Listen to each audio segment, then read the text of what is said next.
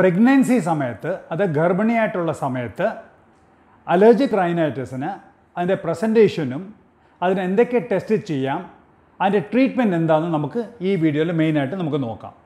അപ്പോൾ allergic rhinitis എന്ന് പറയുന്നത് ദേഹത്തിന്റെ പ്രതിരോധ ശക്തിയുടെ ഒരു ഹൈപ്പർ ആക്റ്റീവ് ഹൈപ്പർ ആക്റ്റീവ് സ്റ്റേജാണ് അത് സാധാരണയായിട്ട് ആർക്കെങ്കിലും ഒരു ഡസ്റ്റോ അങ്ങനെ ഒരു ഫോറിൻ മെറ്റീരിയൽ മൂക്ക് വഴി കയറുവാണെങ്കിൽ ഒന്നോ രണ്ടോ പ്രാവശ്യം തുമ്മിയിട്ട് അത് നിൽക്കുകയും ചെയ്യും. പക്ഷേ അലർജിക് റൈനൈറ്റിസ് ഉള്ള പേഷ്യന്റ് അവർക്ക് കിട്ടുന്ന ഒരു ഹെറിഡിറ്ററി ആണ്.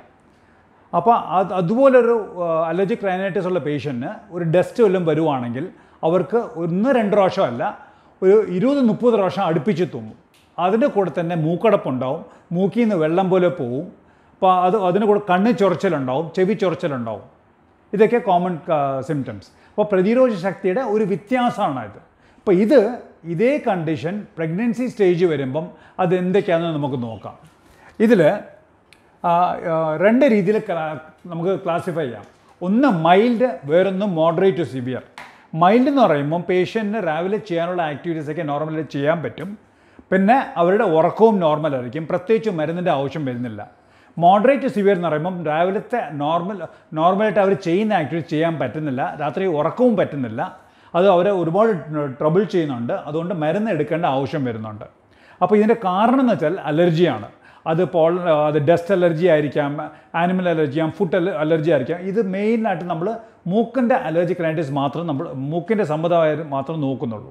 ഇപ്പോൾ പേഷ്യന്റെ കംപ്ലീ ഈ പേഷ്യന്റ് അലർജിക് റൈനൈറ്റിസ് ഉള്ള പേഷ്യന്റ് പ്രഗ്നൻസി ആവുന്ന സമയത്ത് അവർക്ക് സാധാരണയായിട്ട് നോർമലായിട്ടുള്ള സമയത്ത് എങ്ങനെ സഫർ ചെയ്യുന്നു അതിനെക്കാട്ടി കൂടുതലായിരിക്കും അവർ സഫർ ചെയ്യുന്നത്. ബിക്കോസ് ഓൾറെഡി അവരുടെ ദേഹത്ത് ഹോർമോണൽ ചേഞ്ചസ് ഉണ്ടായിരിക്കും. അപ്പോൾ കുറച്ച് മൂക്കടപ്പ് ഓൾറെഡി കാണും പ്രഗ്നൻസി സ്റ്റേജിൽ അതിന് കൂടെ അലർജി റൈനൈറ്റിസും കൂടെ ഉള്ളതുകൊണ്ട് കൂടുതലായിരിക്കും മൂക്കടപ്പും മൂക്കിൽ നിന്ന് വെള്ളം വരുന്നത്. ആ മൂക്കടപ്പ് കൂടുതലുണ്ട് അവർക്ക് രാവിലത്തെ ആക്ടിവിറ്റിയും രാത്രി ആക്ടിവിറ്റിയും നോർമലായിട്ടൊന്നും ചെയ്യാൻ പറ്റത്തില്ല ഉറങ്ങാൻ പറ്റത്തില്ല. മാത്രമല്ല കണ്ണ് ചൊറിച്ചിലുണ്ടാവും കണ്ണിന് ചുറ്റിനും നീരുണ്ടാവാൻ കുറച്ച് നീരുണ്ടാവാൻ ചാൻസ് ഉണ്ട്. തൊണ്ടയിലെ ബാക്കിലും ചൊറിയും ചെറുതായിട്ട് ചുമയും വരും. അപ്പം നമ്മൾ മൂക്കിനകത്ത് ക്യാമറ ഇട്ട് നോക്കുവാണെങ്കിൽ സാധാ നോക്കുകയാണെങ്കിൽ ഒരു അലർജി റൈനൈറ്റിസ് ഉള്ള സ്റ്റേജിൽ ഒരു നീല കളറിൽ ലൈറ്റ് നീല കളറിൽ ഒരു കുറച്ച് നീരായിട്ടുള്ള മ്യൂക്കോസ കാണും.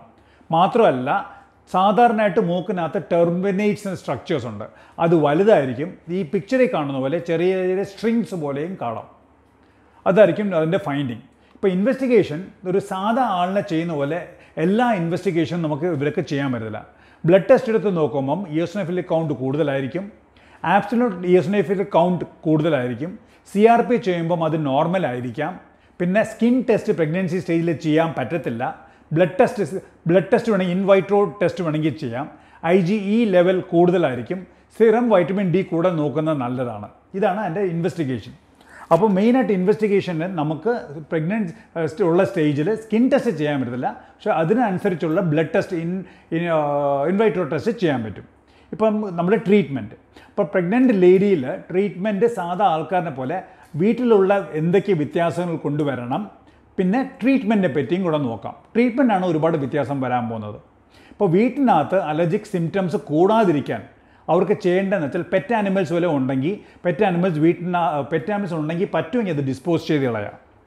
ഇല്ലെന്നുണ്ടെങ്കിൽ പെറ്റ് ആനിമൽസിൽ വീട്ടിനകത്ത് കൊണ്ടുവരാൻ പാടില്ല. അതിന് വേറെ സെപ്പറേറ്റ് കെയർ ടേക്കർ വേണം. പിന്നെ വീട് മൊത്തം ക്ലീൻ ചെയ്ത് വെക്കണം. അത് നനഞ്ഞ തുണിയിലായിരിക്കും ക്ലീൻ ചെയ്യുന്നത്. ബ്ലാങ്കറ്റ്സ് എല്ലാം മാട്രസ് പില്ലോ എല്ലാം ഒരു പ്ലാസ്റ്റിക് കവർ കൊണ്ട് കവേർഡ് ആയിരിക്കണം.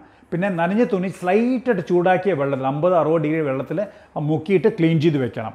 പിന്നെ കാർപ്പറ്റ് ഉണ്ടെങ്കിൽ കാർപ്പറ്റ് മാറിയിട്ട് പ്ലെയിൻ സിമെന്റ് ഫ്ലോറോ ടൈൽസോ വുഡൻ ഫ്ലോറിങ്ങോ നല്ലതായിരിക്കും.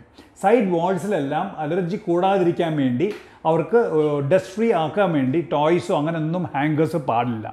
പിന്നെ ഫർണിച്ചറൊക്കെ ലെതർ ഫർണിച്ചറോ ക്ലോത്ത് ഫർണിച്ചർ അവോയ്ഡ് ചെയ്യുന്നത് നല്ലതാണ് വെൽവെറ്റ് ഫർണിച്ചേഴ്സ് അവോയ്ഡ് ചെയ്യണം. എന്തെങ്കിലും ടോയ്സൊക്കെ പിള്ളേരുടെ ഉണ്ടെങ്കിൽ അതെല്ലാം ഒരു ഡ്രോയറിനകത്ത് കവേർഡ് ആയിരിക്കണം പിന്നെ മാസ്ക് വെയർ ചെയ്യുന്ന യൂസ് ചെയ്യുന്നത് നല്ലതാണ് വീട്ടിലെ എയർ ഫിൽറ്റേഴ്സ് എപ്പോഴും രണ്ടാഴ്ച മൂന്നാഴ്ച കൂടുമ്പം ഡസ്റ്റ് വരാതിരിക്കാൻ വേണ്ടി അവരുടെ ഫിൽറ്റേഴ്സ് ക്ലീൻ ചെയ്താൽ കൊള്ളാം.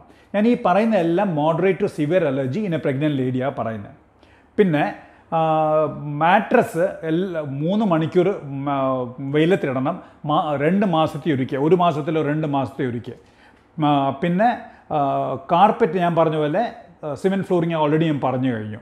ഇപ്പം വീട്ടിന്റെ വെളിയിൽ പോവുകയാണെങ്കിൽ ഈ കാറിന്റെ എ സി കാറിന്റെ എ സിയിൽ ഫിൽറ്റർ ക്ലീൻ ആയിരിക്കണം. മാത്രമല്ല അതിന്റെ അപ്പോൾസ്ട്രി തുണി ആവാൻ പാടില്ല. ലെതർ ആണെങ്കിൽ അത്രയ്ക്കും നല്ലതാണ് അത്രയ്ക്കും നല്ലതാണ് പിന്നെ കാറിന്റെ ഫ്രണ്ടിൽ ഒരു ടോയ്സ് ഒന്നും ഹാങ് ചെയ്യാതിരിക്കുന്നതാണ്. ഡസ്റ്റൊക്കെ അതിനകത്ത് അക്കോമഡേറ്റ് ചെയ്യും. ഇപ്പോൾ അതിന്റെ ട്രീറ്റ്മെന്റ് ട്രീറ്റ്മെന്റ് സാധാ ഒരാൾക്ക് മോഡറേറ്റ് മൈൽഡ് അലർജിക്ക് മോഡറേറ്റ് സിവിയർ അലർജിക്ക് നമ്മൾ സ്റ്റീറോയിഡ്സാണ് കൊടുക്കുന്നത് പക്ഷേ പ്രഗ്നന്റ് ലേഡിക്ക് ഒരിക്കലും നമ്മൾ സ്റ്റീറോയിഡ് നേസൽ സ്പ്രേ കൊടുക്കാറില്ല. അതിന്റെ മെയിൻ മെയിൻ ട്രീറ്റ്മെന്റ് എന്ന് പറയുന്നത് ആൽക്കലൈൻ നേസൽ വാഷാണ് മെയിൻ ട്രീറ്റ്മെന്റ് അത് ഉപ്പ് വെള്ളത്തിൽ എത്ര ഒരു ദിവസത്തിൽ നാലോ അഞ്ചോ പ്രാവശ്യം മുക്ക് ക്ലീൻ ചെയ്യുന്ന ഏറ്റവും നല്ലത്. പിന്നെ ആന്റി ഹിസ്റ്റമിനും സാധാരണ കൊടുക്കാറില്ല. കൊടുക്കണം എന്നുണ്ടെങ്കിൽ പുതിയ ജനറേഷൻ ആന്റി ഹിസ്റ്റമിൻസ് അല്ലാതെ പഴയ ജനറേഷൻ കുറച്ച് ഡോസിലേ കൊടുക്കാവൂ. ലുക്കോട്രിൻ ആന്റോകോണസ്റ്റും കൊടുക്കാറില്ല. ഇമ്മ്യൂണോ തെറപ്പി നമ്മൾ ചെയ്യാറില്ല. അപ്പോൾ ഇതിനകത്ത് ഈ സ്ലൈഡിലായിട്ട് മെയിനായിട്ടുള്ളത് എന്ന് പറയുമ്പം അൽക്ലൈൻ വാഷിങ്ങും ഓൾഡ് ജനറേഷൻ ആന്റിസ്റ്റമിൻ മാത്രമേ കൊടുക്കുള്ളൂ ഇത് രണ്ടും പാടില്ല. പ്രഗ്നൻസി സ്റ്റേജിൽ പാടില്ല. ഇപ്പോൾ ഇതാണ് ഞാൻ സമറൈസ് ചെയ്യുന്നത്. ട്രീറ്റ്മെന്റിൽ മൂക്കിന്റെ മൂക്ക് വാഷ് മൂന്ന് നേരം ചെയ്യണം. സലൈൻ അതായത് സലൈൻ വാഷ്. അത് വാഷ് ഇല്ലെങ്കിൽ സ്പ്രേ പോലും ചെയ്യാൻ പറ്റും. പിന്നെ ഓൾഡ് ജനറേഷൻ ആന്റിഹിസ്റ്റമിൻ ടാബ്ലറ്റ്സ് അതും തുടർച്ചയായിട്ട് എടുക്കരുത്. ലോ ഡോസിൽ എപ്പോൾ ആവശ്യമുണ്ട് അത് മാത്രം എടുക്കാവൂ. അഥവാ നിർബന്ധമായിട്ട് സ്റ്റിറോയിഡ് സ്പ്രേ എടുത്തേ പറ്റുമെന്ന് തോന്നുന്നെങ്കിൽ ലാസ്റ്റ് ട്രൈമസ്റ്ററിൽ ഒരു രക്ഷയില്ല ഭയങ്കര സിവിയർ ആണെങ്കിൽ ലാസ്റ്റ് മൂന്ന് മാസത്തിൽ വേണമെങ്കിൽ എടുക്കാം. അത് കണ്ടിന്യൂസ് ആയിട്ട് എടുക്കാതിരിക്കുന്ന അത്രയ്ക്ക് നല്ലത്. ആദ്യത്തെ മൂന്ന് മാസം രണ്ടാമത്തെ മൂന്ന് മാസം എന്തായാലും ആരും ഒരു ഇ എൻ ഡി ഡോക്ടറും എടുക്കണം എന്ന് നിർബന്ധമായിട്ട് പറയത്തില്ല. എത്ര അവോയ്ഡ് ചെയ്യാൻ പറ്റുമോ അത്ര അവോയ്ഡ് ചെയ്യണം. വേറൊന്നുമല്ല ഇതിന്റെ ഒരു പെർട്ടിക്കുലർ സ്റ്റഡി ഇല്ല. സ്റ്റഡി ചെയ്തിട്ട് പ്രൂഫായിട്ട് നമുക്ക് പറയാൻ പറ്റുന്നില്ല. ഇത് യൂസ് ചെയ്താൽ സേഫാണ് പ്രൂഫ് ഇല്ലാത്തതുകൊണ്ടാണ് നമ്മൾ പറയുന്നത് അത് വേണ്ടെന്ന് പറയാൻ കാര്യം. ഇപ്പോൾ ഇതാണ് nasal spray saline nasal spray ഇതുപോലെ തന്നെ സ്പ്രേ യൂസ് ചെയ്യാൻ പറ്റില്ലെങ്കിൽ വാഷും യൂസ് ചെയ്യാൻ പറ്റും. Old generation anti histamines use ചെയ്യണം. ഒരു സർജിക്കൽ പ്രൊസീജിയർ പ്രൊസീജിയറും ചെയ്യാറില്ല. അഥവാ എന്തെങ്കിലും പ്രൊസീജിയർ ചെയ്യുന്നുണ്ടെങ്കിൽ second ട്രൈമസ്റ്ററിൽ minimal surgical turbinate surgical procedure minimal ഏറ്റവും മിനിമൽ അതും ജനറൽ അനസ്തീഷ്യയിലല്ല ലോക്കലായിട്ട് മിനിമലായിട്ട് വേറെ ചെയ്യുന്നുണ്ടെങ്കിൽ മാത്രം ചെയ്യും. അതല്ലാതെ വേറെ ഒന്നും ചെയ്യാറില്ല. ഇങ്ങനെയാണ് പ്രഗ്നൻസി സ്റ്റേജിൽ നമ്മൾ allergy rhinitis moderate to severe allergic rhinitis ഉണ്ടെങ്കിൽ നമ്മൾ ചെയ്യുന്നത്. സമ്മറൈസ് ആണെങ്കിൽ ഏറ്റവും ഇമ്പോർട്ടന്റ് നേസൽ വാഷ് തന്നെയാണ്. നേസൽ വാഷ് അതിൽ അതാണ് അതിലാണ് മെയിനായിട്ട് ആശ്രയിക്കേണ്ടത്. വേറെ കുറേ മോഡലേറ്റ്സ് അത് മെൻഷൻ പോലും ചെയ്യുന്നില്ല. ഇതിൽ ഇതാണ് മെയിൻ ലാസ്റ്റ് ട്രൈമാസ്റ്ററിൽ മാത്രം ആവശ്യമുണ്ടെങ്കിൽ മാത്രം മിനിമൽ ഡോസിലെ സ്റ്റീറോയിഡ് വേണമെങ്കിൽ യൂസ് ചെയ്യാം. ഇല്ലെന്നെങ്കിൽ തീർച്ചയായിട്ടും ഇല്ല. നമസ്കാരം.